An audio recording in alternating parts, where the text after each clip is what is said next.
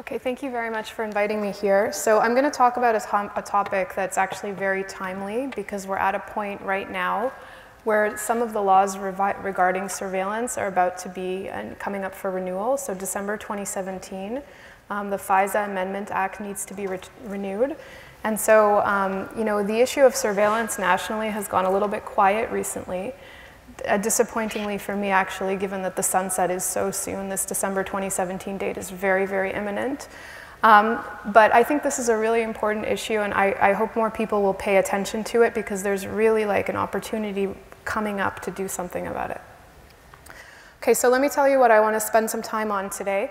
Um, I'm a computer scientist. Um, this is a paper that I wrote for the Century Foundation um, as a policy article talking about surveillance law and how um, the surveillance law that we have today was formed um, at a different time uh, in the 70s, late 70s, early 80s. And we're still using laws that were built within this framework of the basically early 80s. And as we all know, you know, the world has changed a lot since the early 80s, and in particular the internet, and a lot of surveillance is, co is conducted over the internet. So we're guided by these laws that are very old, um, and so if you look at the laws as a computer scientist, you start to see, wow, there's a lot of ways where the laws are really not capturing potentially what was intended when they were framed. And so what this talk is about is about a look at uh, the US surveillance law framework, what is authorized by law, and how these laws are structured in a way that could actually be circumvented by using the technology of the internet. So the internet we have today um, which is not what they were thinking of back in 1978 and 1981 where these laws were set up. So um, I'm going to start off by just giving us a high-level view of the two legal um, authorities that are relevant to the conversation we're going to have today. Um, the first one is called the Foreign Intelligence Surveillance Act. So um, this was a statute passed by Congress in 1978. Um, it, it's very, very detailed, very complicated what it authorizes, but I need to simplify things for the purpose of this talk. I clearly cannot explain all of FISA in this one hour, um, and also tell you about how technology can be used to circumvent some of it. Um, so I'm just going to really simplify things and say that FISA is basically um, legislative authorization for surveillance conducted on US soil. So if you're surveilling using data that you collected on US soil, that would fall under FISA for the most part. And what's really cool about FISA, so if you've, how many people have heard about FISA? Okay, how many people have heard anything positive about FISA from the perspective of protecting people's privacy? Okay, so actually, I think that FISA actually has a bit of a bad rap in a lot of ways because we hear a lot of bad about FISA, about how FISA is not sufficiently protective, and I agree with a lot of that. But I also want to point out that FISA surveillance is overseen by the FISA court, and I know that we've all heard a lot of things about the FISA court, but the FISA court is an actual court. It's under the judicial branch. Um, it is staffed by federal district judges that are appointed by the Chief Justice of the US. So the judicial branch is appointing the judges in the FISA court. These are not um, NSA lawyers, right? These are not intelligence community and, and executive branch um, lawyers that are making these decisions. These are judges. And so these judges, maybe they're inclined to authorize surveillance, but their role is not to authorize surveillance. Their role is to be judges, right? And so there is judicial oversight for programs conducted under FISA. And if you look back to the 70s when this was passed, and it took a long time to pass this, um, the discussion was we need to have judicial oversight for surveillance, and that's why FISA was put in place at this time. Um, now, there's another authority that's really important called the Executive Order 12333. How many people have heard of this? Okay. So this is really interesting because um, this has been not very much in the media. If you're a geek about this stuff like I am, then 12333 is like this looming thing, um, but the, you know, most people haven't really thought about it or heard about it. So Executive Order 12333 is an executive order signed by Reagan in 1981. Um, and so because of the way things are structured, the president has sole authority for surveillance conducted abroad, as long as that surveillance does not intentionally target a US person. That's the distinction between what falls under FISA and what falls under 12333. Okay, so there's two important points here. If the surveillance is conducted abroad, so that means, for example, if the data was collected on a cable that is located in a foreign country. So let's say it's collected from a, a, an optical fiber that's in the UK. Then it would be under Executive Order 12333 as long as the surveillance does not intentionally target a US person. Okay, so just remember that. You might be wondering what intentionally target a US person actually means. Um, I just want to mention something that this language, intentionally target a US person, comes from FISA in 1978. So that legal term was established in 1978 as part of FISA. And it's very, very unclear what it actually means. And so that's where a lot of the issues come in when we think about privacy. Um, what does it mean to actually intentionally target a US person? So I'm going to spend a little, a, like a bit of energy on what that actually means. But as long as these two things are the case, if it's conducted abroad and it's not intentionally target a US person, it doesn't fall under FISA, it falls under 12333. And so what that means is that you no longer have the court oversight that you would have if you were, um, if you were under FISA. So you don't have to have the programs authorized by the FISA court. So there's no judicial uh, oversight. Um, and interestingly, the NSA has itself stated publicly, and this is not even in leaked documents if I remember correctly, that the majority of its SIGINT activities are solely pursuant to the authority provided by 12333. So this is very, very important for the surveillance that's done um, by the US intelligence community. Um, that's well known. And so since a lot of surveillance is happening under here, it's interesting to think about, you know, what is this actually authorizing? Um, to I can talk a lot about like what are the differences between surveillance under FISA and surveillance under 12333, but the really high level point I want to make is that uh, 12333 is more permissive, so you can do more kinds of surveillance with less oversight in general than you could under FISA. And there are examples of this that I can go into, and I, I try not to spend too much time on them, but if you want to know specific examples, I'm happy to go through some of the examples that I have about why FISA is less um, uh, FISA is more protective than Executive Order 12333. Um, so if you are a technical person, you say to yourself, wait a minute, and this is what I said to myself the very first time I heard about this in 2014 was, wait a minute, why is there a distinction between traffic that I collect from a fiber that's located in the US and traffic that I collect from a fiber that's located in the UK? Why is there a difference, right? Because the internet is global, um, it's not the case that all American traffic stays in the US. We haven't designed the internet to respect national borders for the most part, although there's been moves in that direction. That's not how it was designed. We know that traffic crosses borders. So why is the law so careful about where we collect traffic? It turns out that it is very careful about that, and the reason I think you can see is from the dates, right? So if you think about at the time where these things were drafted, this made a lot of sense because we had the telephone system, we had different technology that wasn't as global as what we have today. So think back to before the internet. And so what this really creates is a situation in which um, by trying to collect the traffic abroad, you don't have to fall under the oversight of FISA, and you can do more types of surveillance less, with, with less oversight. And this is the loophole that I want to talk about today. Um, so I guess there's no, I'm not going to take any questions in the talk, but this is, this is the framework, right? We're trying to think about under what conditions can surveillance um, be conducted abroad that would be more permissive than surveillance conducted on US soil. Okay, so my first point is that US traffic can naturally, um, naturally flow abroad. Um, I'm going to give an example of that actually happening. This is a well-known example. But what's really interesting, um, if, if, you come with, for my background, my background is in routing, networking, you know, how do you manipulate network protocols? The first thing that I thought of when I saw this was, wait a minute, even if US persons traffic is staying naturally in the US, which it may not, but let's say it is, I can actually do all kinds of fun routing attacks and different kinds of network manipulations to force that traffic out of the US. Okay, so what I want to do in the second part of this talk is talk about how we can force traffic from the US abroad by deliberately ma manipulating routing protocols. And um, there is now evidence um, in the last you know, two or three years that has come out, not immediately at the beginning of the Snowden revelations, but more towards the end. There's been evidence that the NSA has the capability to reroute traffic um, we have no evidence that, that the NSA is using this to circumvent FISA in order to spy on Americans abroad. We have no evidence of that, but we do have evidence that, that the NSA has the ability to reroute traffic, which is not surprising if you think about it as a security person. I would expect them to have this capability. So the question that I want to uh, look at is, would it be legal to actually do this? To take traffic from the US, use network protocol manipulations to force it abroad, and then um, surveil it using Executive Order 12333, which is more permissive. Okay, so that's the second thing I'm going to talk about, and then I'm going to just conclude by talking about some ways that um, the laws could be updated to be more in line with having FISA protect surveillance of Americans and having 12333 really govern the surveillance of foreigners, which is how this was initially set up when it was drafted in the 70s and 80s.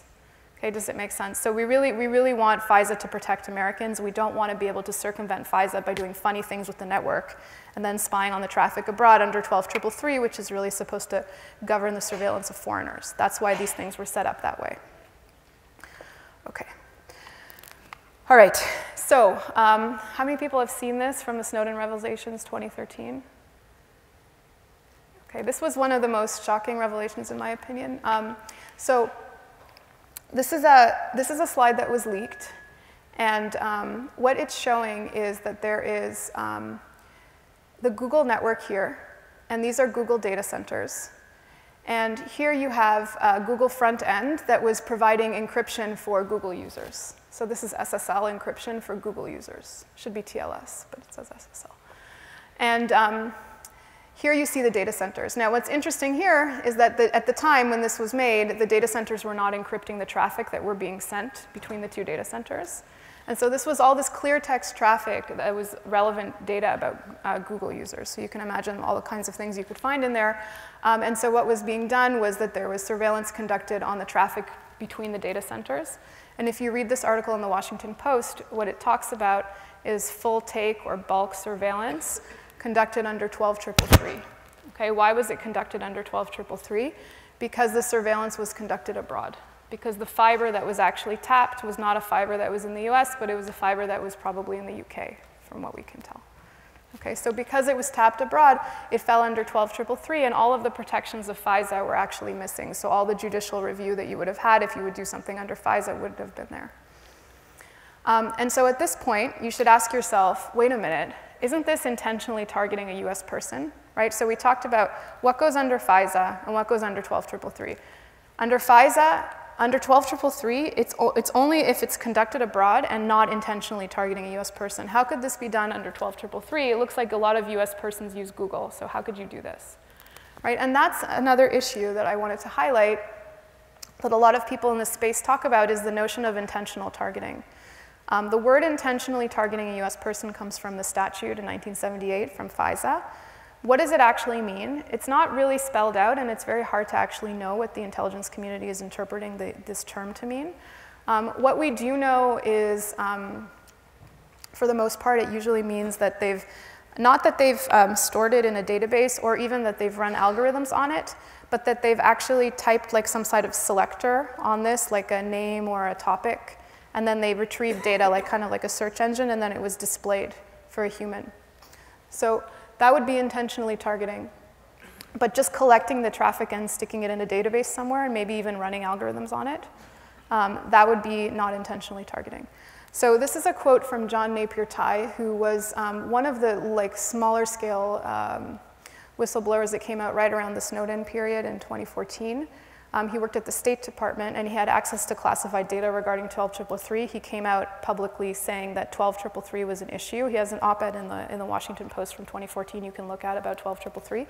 And what he says, what does intentional targeting mean?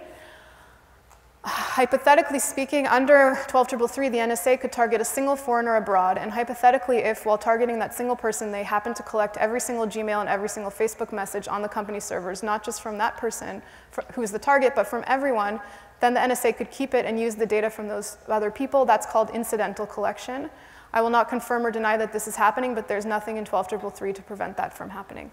Okay, so when you show this quote to people, depending on different people will say, I don't agree with that, that's overly broad. Um, but he was comfortable enough to go out and make this statement, so this is one of the most aggressive statements I've seen about what intentional targeting actually means. We don't know exactly what it means, but it seems like it could be fairly broad. So you can basically take data from a fiber in um, between the Google data centers, take it, store it, dump it somewhere, and you've not really done intentionally targeting until you've searched it or actually analyzed it in some way. Okay, so if you were to conduct surveillance, um, it seems much more convenient to, to tap fibers abroad than to tap fibers in the US because then you don't have to subject your surveillance programs to judicial oversight. You can just run them under 12333 which is conducted entirely by the executive branch and not overseen by the judicial branch. Okay, so that's really the issue that I'm trying to make, to bring up in this talk. Uh, I just wanted to highlight a couple of differences between like what might be allowed under um, 12333 and what might not be allowed under 12, uh, what might not be, what, the differences between what might be allowed under FISA and what might be allowed under 12333. So this is an, um, a post from the NSA um, from this April. And um, this was uh, the NSA stating that it would stop conducting about collection um, using data collection, collected under FISA Section 702. Okay, so without getting into all the details, basically what this means is that they would stop doing collection that was not to, so let's say the target um, is me. If the email is to me or from me, then you could collect that because I'm the target. But if the email is about me, they used to be able to collect that, but now they're not allowed to anymore. Okay, so about collection, not that they're not allowed to, but they've stopped doing it. So um, in April 2018, they had stated that they were going to stop doing about collection with data that they had collected under FISA. Okay. Um, and actually, this was an issue people were concerned about about collection. They were like, okay, to from, that makes sense for targeting, but about, maybe that doesn't make sense because maybe the target is some well-known figure and I'm just emailing my friends about this news story that was in the news. So why should my emails be surveilled when I'm talking about something that's in the news, right? So, so that's why people were like uncomfortable with about collection. But this is really interesting. This is from an article by Tar Charlie Savage in the, um, in the New York Times. There is no indication that the NSA intended to cease this type of collection abroad where legal limits set by the Constitution and the Foreign Intelligence Surveillance Act largely do not apply. So if you, if you get into this space, you'll start to see like, okay, we're not going to do this under FISA anymore. But then you don't necessarily see, okay, we're also not going to do this under 12333. So if you think about it, maybe you can stop doing it on data you've, you've collected within the US, but you can still do it with data you've collected outside the US. And so that doesn't seem to be really living up to the spirit of people's concerns, right? If people are concerned about about collection, then maybe we shouldn't be doing about collection on any traffic at all, whether it's collected in the US or collected outside the US. And there are more examples of, of this type of thing that we can talk about afterwards if you have questions. But this was just like one of the more immediate examples of things that, that were happening, differences between FISA and 12333. Okay. Um, so that's so, so that's, you know, um, I hope you guys get the gist of what I'm trying to say. Like, we, we, we do surveillance reform, we think about FISA and we think about what should be allowed under FISA and what should not be allowed under FISA, but what, these entire conversations are restricted to traffic that's collected in the US, okay? And what I'm trying, the point I'm trying to make is like we should be having this, collect, this, this conversation about internet traffic, not internet traffic collected in the US, because we know that Americans' traffic does not necessarily stay in the US. Okay? And the example of that is this, right? My Google data center might be located in Ireland or something. And so why should I have lost all my privacy because Google happens to have a data center in Ireland and most people don't even know that their data center might be in Ireland. Okay, so that's the general point I wanted to make. Um, this, this part is going to be a little bit more, um, this is a legal analysis that I did to try to understand whether it would be possible to use network protocol manipulations to actually circumvent FISA. So let's say we have internet traffic that's in the US and it's staying in the US, right? So it's traffic from my computer to like a data center in San Jose, okay? It should stay, that traffic should only be collected under FISA, so I should feel good because I'm gonna have judicial oversight for surveillance of my traffic. However, what happens if someone decided to actually do a BGP hijack on my traffic and force it to go to Iceland? Um, could, could my traffic then be collected under 12333 where it would no longer be subject to judicial oversight, or is that not allowed? Okay, so that's what I want to work on next. I want to look at how you can change the routes that traffic take. Um, and then we're going to talk a little bit about whether doing such a thing on purpose um, would be allowed under the legal framework of US surveillance law, as, I can, as we can tell right now. So, um, so let's so let's start. Um, okay. So this is I'm going to use a hypothetical example. It's a weird kind of hypothetical example. This is something that really happened on the internet. Um, this is a real example of something that happened on the internet. We don't know why this happened. We don't know who was behind it. It could have been an intelligence agency. It could have been a hacker. It could have been a kid. Nobody has any idea who was behind this or why. It could have been a mistake. It probably wasn't a mistake, but the people claimed it was a mistake. So we don't know why this happened, but I wanted to look at this particular case because it's really interesting. What happened here is there was a starting point in Denver and an ending point in Denver, and um, internet routing was used to change the route that this traffic took, and you can see this is a very convoluted map. Um, and it just, it left the US, it was two endpoints in the US, and it just went all the way to London, Reykjavik, Canada, and back. And this was done through manipulations of the routing protocol. And so what I want to do is I want to look at the actual technical mechanism that was used to do this routing attack. So we've been talking about laws now. I'm going to dive into BGP routing in a second. Um, we're going to look at how a BGP hijack works, and then we're going to try to understand whether it would be legal to do this on purpose in order to circumvent FISA, to cause your traffic to go abroad. Okay? So the goal would be to launch an attack like this, and then maybe pick up the traffic here in London, where it could be collected under 12333 rather than FISA. Okay, that's why I'm interested in this question. Okay, so that's what we're going to do next. We're going to switch gears and start talking about um, routing with BGP, internet routing with the Border Gateway Protocol. Okay, so in the example that this is again the, the, the, the real thing that happened in 2013 here, I'm going to walk through what actually happened in this case. Okay, so we have two computers. Here's one in Denver and here's the other one in Denver. These two computers are hosted by different networks. This one is hosted on um, CenturyLink and this one was hosted on Atrato, which is an investment advisors firm. And there is two routers here. Um, one of them is in Dallas and the other one is in Dallas. So the way these networks were set up was that they were interconnected through Dallas. So on a normal day, you know, this traffic would have gone from Denver to Dallas and then back to Denver because of how these networks were set up. So over here, we can see the IP address of the destination computer in Denver. And so how does this router over here learned that this Denver computer is over here. Okay? The way it learns about that is using the border gateway protocol. So what happens is this router here will send a, a message to the lower router saying, this group of IP addresses belongs to me. So we can see this network here has a network number, 22516, 22561. Um, what that uh, routing message, what that BGP message is saying is this block of IP addresses belongs to my network. Okay? So we can see here, um, this is a block of IP addresses that have the same uh, prefix. Okay, so what I'm saying here is that this, you see this 19 over here? This means that the first 19 bits of all, of, of all these IP addresses is the same, and the remaining ones are wildcards. Okay, so this is a block of addresses that have the first 19 bits in common. So that's what BGP is saying. This block of IP addresses be belongs to me. This is actually like a little bit strange for me to be going into this level of technical detail, but we actually need to do this in order to do the legal analysis. It's like a weird thing. What's important here in a second is that this is a block of IP addresses, not a specific IP address. Okay, so this block of IP address gets announced in BGP, and then this, um, and then this other router um, will say, okay, great, now I want to reach this, this IP address, which is inside this block. I'm going to send my traffic to this router in Dallas. Okay, that's how routing would happen on a normal day. Okay, so now let's see what happened on, um, on, during the hijack in July 2013 that caused the traffic to be redirected.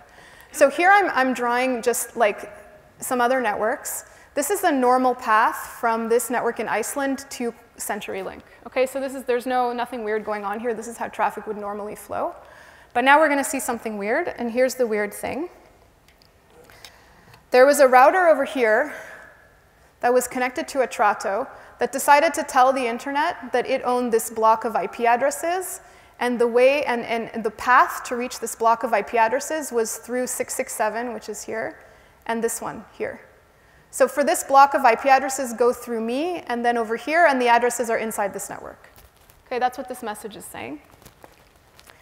And so at this point, you'll notice that our, our address over here, our destination, is both inside this block and inside the other block. Okay, let's look at these two address blocks. One of them is a, sla is a slash 19. You can see the 19 here. That means the first 19 bits are common. And one of them is in slash 24. The first 24 bits are common. Okay? And we can see that our address actually falls in both of these address blocks. So which way should this network decide to send its traffic? Okay, that's the question that's faced by a routing protocol. You have an address that falls into both IP address blocks. Where do you send it? There's a, a rule called um, longest prefix match routing. How many people have heard that, longest prefix match routing? Okay, so you pick the longest prefix. What's longer, 24 or 19? 24. And so you route this way. Okay, 24 is more specific, more bits are fixed. You're going to select that path. And so this is what happened to the traffic. Instead of going on the normal route, it went on this route over here. And then for some reason, we don't know why, this router passed it on to some other router and it made it all the way back to Denver. Okay, and this, is, this was what happened to the traffic. It left the US, it went to Iceland uh, via London, and then it came back to the US via Canada. Okay? And all of this was done. What's really fascinating about this is that, at least for me, maybe not for you, is that this was just one routing message in BGP that caused this to happen. Okay? In what country was this routing message sent? Was this sent in the US? No. Okay? So how did I cause routes to change? I just sent one single message from a, a router in Iceland. There was nothing done inside the US to cause this traffic to change paths. I didn't affect any, I didn't take over any routers in the US, I didn't hack into anything in the US. All I did was I had access to a router in Iceland somehow, and I told it to send out one BGP message that caused the paths to change. That's what, that's what happened here, okay? So in the context of our, of our question, which is whether you can use something like this to actually cause traffic to, that stayed in the US before to leave the US, I've just shown you a mechanism that you can do this um, using a router in Iceland. Okay, so not using a device in the US. I want to point out one more thing. What was the thing that I did here? I announced a block of IP addresses. Okay? So did I intentionally target a US person by announcing a block of IP addresses?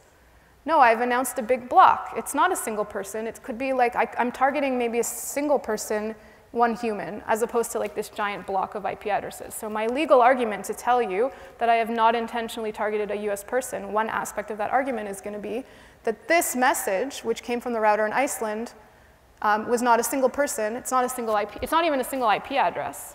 If you feel like making the argument that an IP address equals a person, that's fine, but I don't care because what I'm telling you is this is a block of IP addresses. So I've not targeted a single US person with this. Okay, so I'm gonna continue down this road of trying to convince you that doing this would be allowed and I haven't broken any of the rules in FISA. Okay? I'm going to do this. I'm going to try to argue that this can be done, cause traffic to go abroad um, without, without violating anything in FISA. Okay. So that was the real incident. I want to emphasize again, we have no idea who was behind this incident. I'm absolutely not saying that the US intelligence community did this. I have no reason to think that. I'm just showing this example as something that really happened to argue that it could be done, that US person traffic could be routed abroad deliberately, okay? Um, okay, so here's a question. Why did this happen, and what do you need to do such an attack? So just, just a, a, note, when you're doing internet routing with BGP, this is not your home router that you have in your bedroom that's also the Wi-Fi access point. These are giant infrastructure routers. Um, so you need to have access to an infrastructure router. Um, and it's really hard to actually just like take an infrastructure router and be like, I'm going to join the internet and speak BGP. You have to like get into peering points, set up business agreements. It's not that easy. So if you wanted to do this and you were not already the operator of one of these routers, then you could probably hack into an infrastructure router. Okay. So another interesting thing that we know about um, uh, surveillance here is that um, the intelligence community has the ability to hack into routers. There's been several articles about this, and I think this is really interesting. If you, I don't know if anyone can read this. Um, the, this is a clip from uh, some documents that were released as part of the Snowden revelations. So he's, he's saying, Happy Friday, my esteemed and valued intelligence community colleagues. There's a huge topic of conversation, and it's about router hacking. For this point, I'm not talking about your home ADSL router. I'm talking about bigger routers such as Cisco's, Juniper's, Huawei's used by ISPs for their infrastructure. Hacking routers has been good business for us and our Five Eyes partners for some time now, but it's becoming more apparent that other nation states are honing their skills and joining the scene. Okay, so apparently routers are being hacked all over the place. This is, this is um, like a, a statement made by someone in the NSA internally. So we know that the NSA has the ability to do this. The Five Eyes partners, Canada, UK, um, New Zealand, Australia, and the US. Um, but apparently, like more countries are doing this. So it wouldn't surprise me if the incident that we just saw was the result of someone hacking into this router, but who knows? So in order to, to, do, this, um, to do this manipulation, you would need to get into the router. So um, now we're going to like think about this from a legal perspective. can we use uh, BGP hijacks to evade court oversight for surveillance? Right? Again, what we need to do this, in order to do this, is we want to use a BGP hijack to cause US traffic to leave the US, and then we can collect it abroad under 12333. So in order to do this, we need access to a foreign router on foreign soil. Okay, so I want to emphasize this router is not in the US, it's abroad. And then we tell the router to do a BGP hijack that reroutes US traffic abroad. Okay, so the question is, if you decided to do this, um, uh, would you need a court, would you need to go to the courts, to the FISA court, to request permission to, to launch a program like this where you were doing BGP hijacks in order to reroute traffic? So to answer this question, we have to answer two questions. Um, first, we need to understand, does doing a BGP hijack constitute, um, does it fall under FISA? Okay, so the question of does something fall under FISA uh, reduces to the question of whether it constitutes electronic surveillance. So the word electronic surveillance is a legal term that's defined in FISA. We need to understand if it constitutes electronic surveillance under FISA. That's the first question. And the second question is, would we need a warrant under the Fourth Amendment to do such an operation? Okay, so I'm going to answer each one of these questions. Um, the bottom line is, though, I just want to mention that I'm going to construct a legal argument to try to convince you that you can do this without court oversight. Um, I could be wrong. Um, the fact is we don't know how the intelligence community would actually approach such a subject because a lot of these decisions are classified. Um, but I also want to highlight, and this is really the big issue, is that with FISA, if you have an ambiguity, you have to go to the FISA court, present it to the FISA court, and convince the FISA court that you're correct, that that you've taken the right decision. With 12333, if you have an ambiguity, then you would resolve that ambiguity internally. You would sort of, the, the, lawyers would construct an argument that this is an acceptable thing to do, and then they would never go test it with the FISA court. So this type of argument, if um, internal, if, if executive branch lawyers decided to make this um, argument internally and decided that they were correct, they would not need to go to the FISA court and test it with an external party. They would be doing it within the um, executive branch. Okay, so let's try to construct the argument now. Okay, so does hacking into a foreign router on foreign soil um, constitute electronic surveillance under FISA? So the electronic surveillance under FISA has four clauses. It's defined in four clauses. Um, I'm going to like skip over the reading of all of this thing, but um, what's important in this clause is something falls under FISA if it intentionally targets a US person. Okay, and now I'm going to argue that what we just showed does not intentionally target a US person because I have a router and it's just broadcasting a big block of IP addresses. I haven't targeted any US person. I don't know what is in that block of IP addresses. Could be some foreigners, could be some Americans, I don't know. So I haven't intentionally targeted anyone, and so this clause doesn't apply to me. Okay, so this clause is irrelevant, I'm claiming, and so um, the action of hacking into a foreign router and doing what we just did would not be electronic surveillance under this clause of electronic surveillance definition. Okay, let's do another clause. This one says the installation or use of an electronic, mechanical, or other surveillance device in the United States for monitoring to acquire information other than from a, a, wire or radio communication under circumstance in which a person has a reasonable expectation of privacy and a warrant would be required for law enforcement purposes. So there's um, a couple of words here. First of all, the installation of a surveillance device in the United States. Okay, I've installed my surveillance device in the United States. If I've done that, then it might fall under FISA. Okay. Have I installed a surveillance device in the United States? No, my router is in Iceland. Um, I'm tapping the cable in the UK. So no surveillance device has been installed in the United States. So I argue that this clause is irrelevant to me. I can actually argue that this clause is irrelevant to me in another way, because this clause does not apply to surveillance devices that are wired or radio communication. And so a router is providing wired communication. So doing something with a router or doing something with, a, with an optical fiber, um, that's wire communication, and so this clause also doesn't apply. Okay, so I claim that this does not capture what we just did, not electronic surveillance under FISA. So I feel very confident about these two arguments, by the way. I'm going to present my next argument, which is a little shakier. Um, but I, just to show you the like, difficulty in understanding what's really going on in this space, let's look at the next clause. So the acquisition by an electronic, mechanical, or other surveillance device of the contents of any wire communication to or from a person in the US without consent of the party therefore, if such acquisition occurs in the United States, but blah, blah, blah, blah, blah. Okay, so the acquisition, um, if the acquisition occurs in the United States. So what's interesting about this is did what we just did cause us to acquire traffic in the United States? If we acquired traffic in the United States, this clause applies. If we did not, this clause does not apply. So here we can start to debate. I'm going to now argue that we did not acquire traffic in the United States. Um, but I, I, actually, this is, I think, maybe I'm, where I'm the shakiest. Um, so I'm going to claim that what we did was we sent a routing message here in Iceland, and then we tapped a fiber over here in the UK outside of the US. Okay, so the acquisition did not occur inside the United States. That's my claim.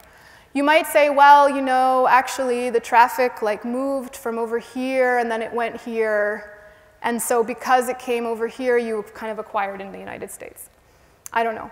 The definition of what acquired means is a little bit unclear, right? But I think that I'm not, you know, I'm not stretching too much by saying that we did, we did the acquisition either at the place where we tapped the cable or at the place where we sent the routing message. And so um, the acquisition did not occur inside the US. Okay, so that's, that's, uh, that's my argument. The, the, the, counter argument, I guess, might be is like BGP routing messages could have gone into the United States, and the messages that went into the United States are the ones that caused the acquisition. I don't know. But it's very, very tricky, right? Because we're setting up this border of like where acquisition actually occurred. So the bottom line that I have here is we don't really, we don't really know how this would be interpreted. Um, probably not covered by FISA. It might be, but it's very hard to say. It's very unclear. And the reason for this lack of clarity is because this definition that we have been looking at for the last 10 minutes was written in 1978, right? So nobody thought about BGP routing in 1978 because it was invented like later in the 80s. Okay, so that's my FISA discussion. We have another um, discussion to have, which is whether or not you would require a warrant under the Fourth Amendment to hack into a router and tell it to do a BGP hijack. Okay, so first of all, does hacking into, so, right, so, so if we're gonna do a Fourth Amendment analysis, we have to do two things. We have to decide if what we're doing is a search or if what we're doing is a seizure under the Fourth Amendment. If it's neither a search nor a seizure, the Fourth Amendment does not apply. Okay, so when you do a Fourth Amendment analysis, my lawyer friends have taught me that you first look at whether it's a search and then you look at whether it's a seizure, and if it's not, then you can sort of say, no, the Fourth Amendment doesn't apply here. So that's what we're going to do. So we're going to first ask ourselves, does hacking a router constitute a search? This is a really interesting question. Actually, there are research papers being written about this right now. Um, there was a Supreme Court decision in 2012 that, um, that the decision um, was made, the decision that was made was that if you physically trespass onto something, so let's say you go to, actually it's very relevant to the previous talk we saw, if you go to a car and you install like a GPS traffic, tracking device on that car, is that considered a search? Um, and so this decision uh, said that this was a physical trespass, and if something is a physical trespass, it requires a warrant. So that's very clear. The question is, if you hack into a router, have you trespassed?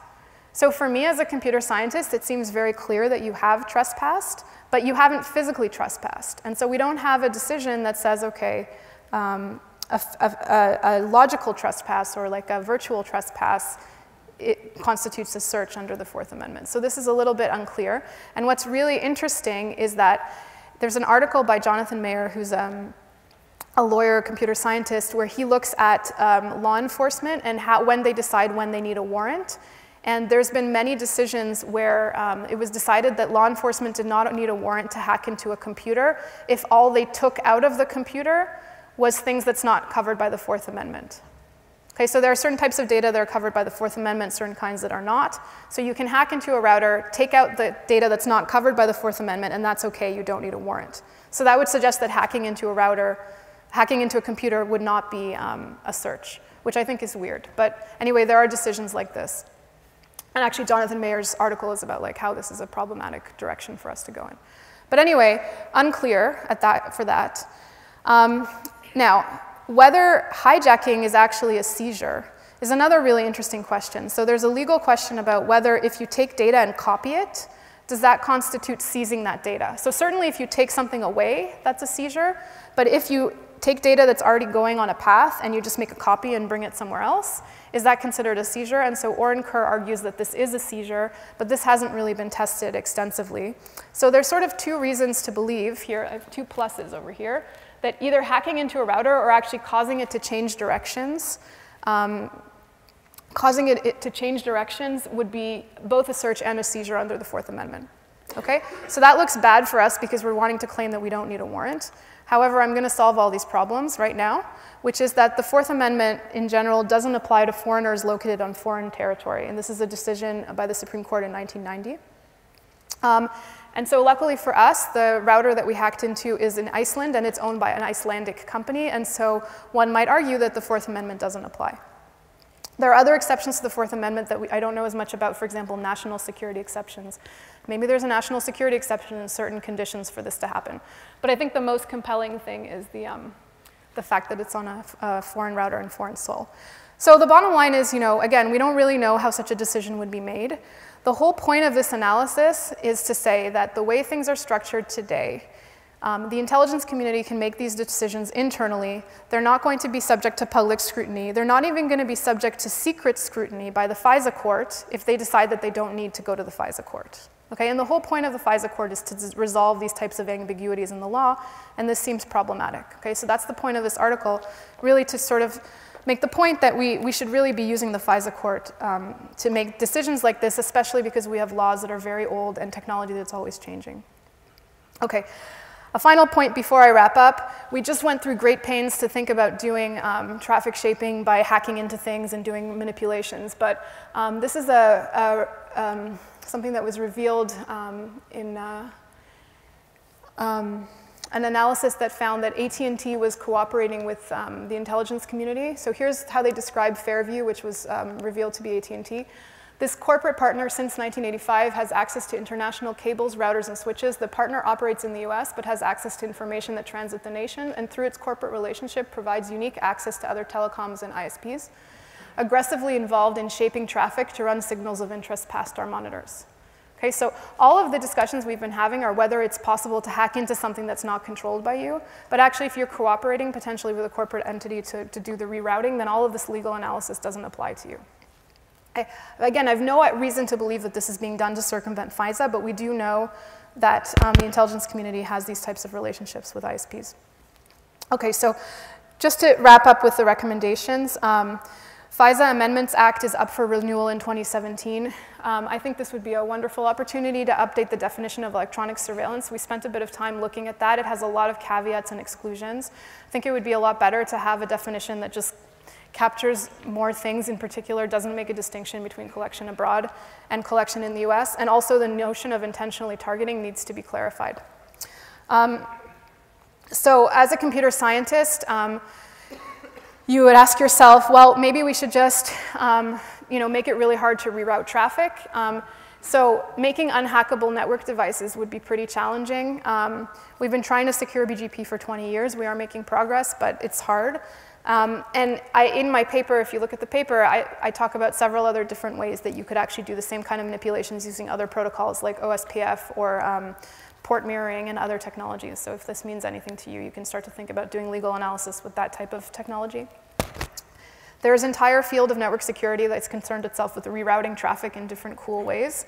And so I don't believe that it's going to be possible to rule out you know, these types of traffic shaping manipulations. So um, this, this also begs the question of whether encryption would solve a lot of these issues, a lot of these privacy issues, and I certainly think that encryption is an important piece. I didn't talk too much about this, but um, there is limits to what we can encrypt. Um, put very simply, encryption covers, typically covers parts of the message that are legally considered to be content, um, and not the parts of the message that are legally considered to be metadata. What's interesting is that metadata is the part that's less protected by the law than content. So encryption and the law are protecting content, and encryption and the law are not protecting metadata. And the issue is really, when we think about how much we can do with encryption, the issue is really metadata because the encryption is neither protecting it nor is the law for the most part. And another point, under 12333, when you uh, collect encrypted data, you can store it indefinitely, whereas if it's clear text data, you have limits on the amount of time you can store it. So there, you know, there, encryption is a really important piece, but it's not the entire solution to this. So in my opinion, I think that what needs to happen right now is a look at this definition of electronic surveillance from 1978 and try to see if what the internet is today is allowing this definition to serve the purpose that that, that its sort of creators intended, which was to protect Americans from surveillance without court oversight. Okay, so that's it. Thank you.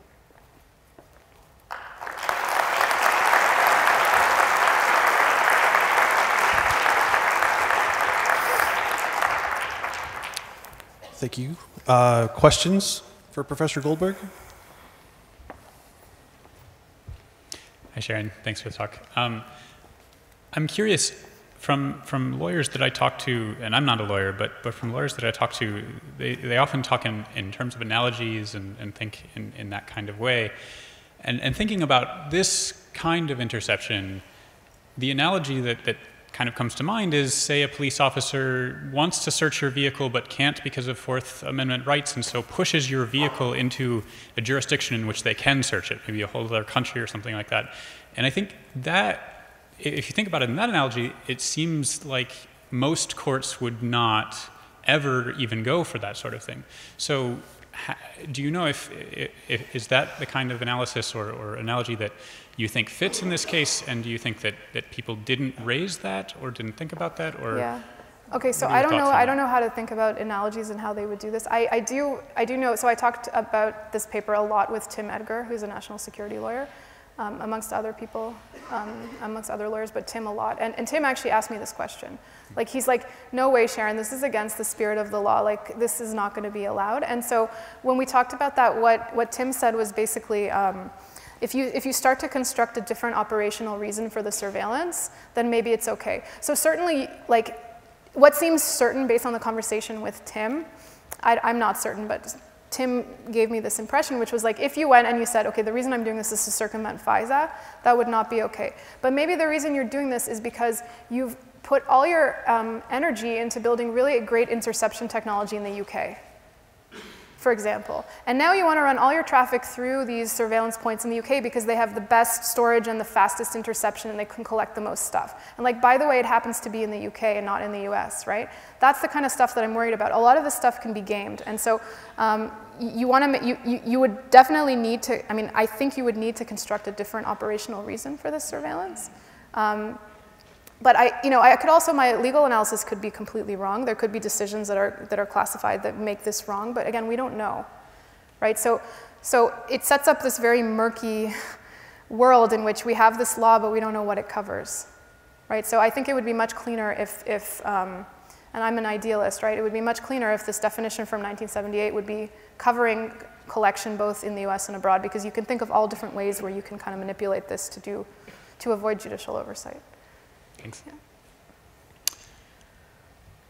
I'm not aware that either the Senate or the House Intelligence Committees have had a serious conversation about revising FISA since maybe the Patriot Act.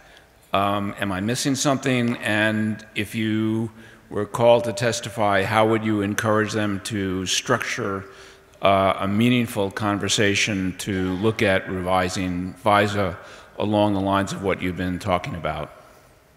Yeah, I, I, think, so there's a lot of aspects of FISA and I have not studied all of them, so I don't want to claim that this is like all the issues. Um, I'm coming at this from the perspective that FISA has some really good parts and that FISA should cover more surveillance. We should not have so many separate authorities.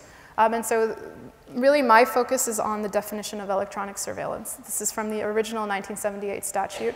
It would make sense to go through this statute and just make it a little bit more technology neutral. So like, you know, like there are words in here um, like um, electronic, mechanical, or other surveillance device, or any wire communication, right? So there's a specification of like wire versus radio versus storage versus mechanical versus electronic, which is something written in the 70s. Like I don't even know what mechanical means anymore. Maybe NENs are mechanical, you know? So, so um, taking away a lot of these technological specifications because who knows what type of surveillance is going to be possible in 10 years right?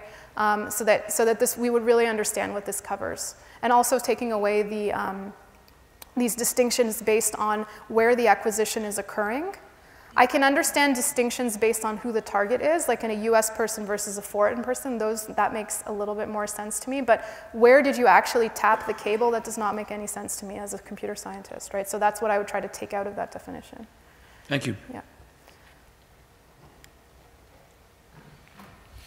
We're fond of BGP because the first meeting at it was IETF 6, which was held down the street here in Ann Arbor.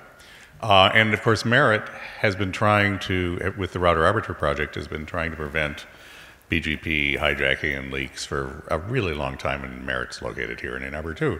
Um, but I don't think Cogent is a member of that, and that allows them to be a whole.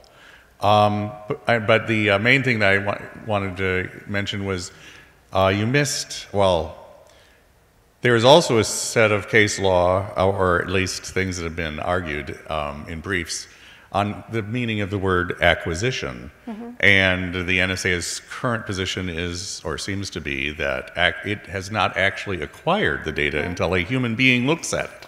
So if a, a a uh, computer at, takes the data and sifts it, it doesn't actually become acquired until a human being looks at what the computer has found, which again is not the usual meaning of the word acquired. Yeah, yeah. You know, I bought it at the store, but I haven't opened the package yet. I haven't acquired it yet. Yeah, yeah.